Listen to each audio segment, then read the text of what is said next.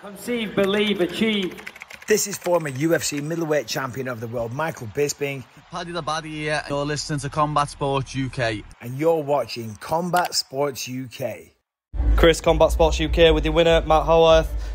As long as it lasted, you looked fantastic in there. Um, was armbar something that you've been drilling with uh, with, with, Tom uh, on a weekly basis? Thank you very much. Uh, we drill it every now and then, but to be honest, we just work every position on the floor. We've got the best gym in the UK behind me, so not much could go wrong, to be honest with you. Obviously, I, I lost my footing a bit there in the first round, but um, the main thing is we're both leaving healthy, happy. Thank you to everyone that helped. Thank you to everyone that came and watched.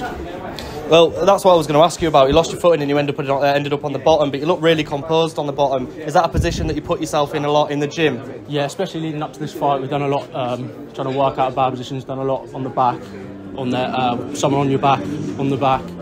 Um, so yeah, we put work there a lot. But to be honest with you, I don't really remember much that happened in there. It's all a bit of a blur. I can't really remember what happened, but just glad I got the win. And what's it like having guys like Tom to like learn from every day? And that must obviously give you a massive advantage over over most guys. Yeah, of course, all my coaches, Tom, Martin, Ash. You know, Omar with the wrestling, Key with the wrestling, Tom Corey, all of the coaches at the gym are top, top level.